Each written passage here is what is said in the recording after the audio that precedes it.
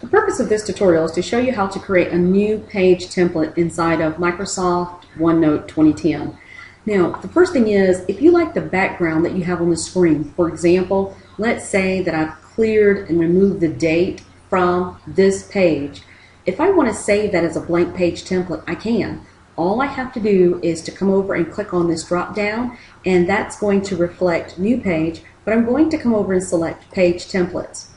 If you'll notice down here in this section it says create new template. If you like what you currently have, for example, the, bank, the blank page template, just click save current page as a template. That's all you do. And in this instance, if you want it to say blank page template, you can call it whatever you want. And here you can check set as default template for new pages in this one section for miscellaneous if you want.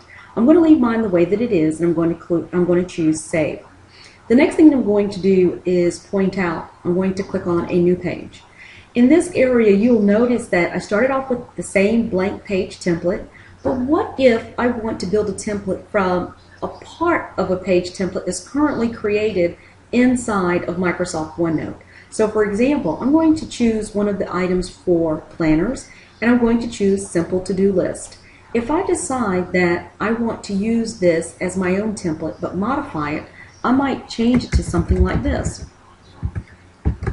So when I go in and modify it, let's say I don't want the date information, so I click it and I delete it. And at this point, if I want to start it off with that information, what I can now do is come over here to the right and I can select Save Current Page as a template. And in this area, I can say Letitia's to-do list and it'll save it with that modification. And I'm going to set it as the default for new pages in the current section. So I'm going to click on Save. I'm going to close out of this area and I'm also going to right click to delete this template so that you can see what happens at this point.